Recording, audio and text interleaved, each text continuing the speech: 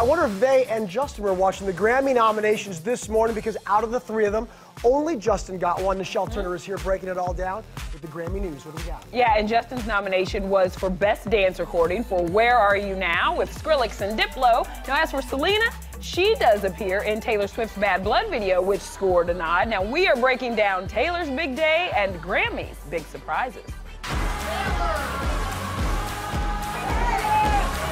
This? Taylor is the only artist to have nominations in the big three album, song, and record of the year. It is a state-of-the-art pop record. If you were to put it in a, a, time capsule, it would be the album that sums up the sounds of 2014, 2015. Also nominated, Bad Blood. It's so good, thanks to the man of the day, Kendrick Lamar. It's not surprising to see him get nominations. What is surprising is to see him get 11. So I just got back from London. Here's a shock Charlie Puth's reaction to his first nominations.